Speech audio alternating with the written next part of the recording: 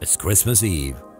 You're on your own, and the melancholia that comes with the late winter nights surrounds you in an embrace. It's the best time to wrap yourself up in a blanket with a hot cup of cocoa and put on a classic.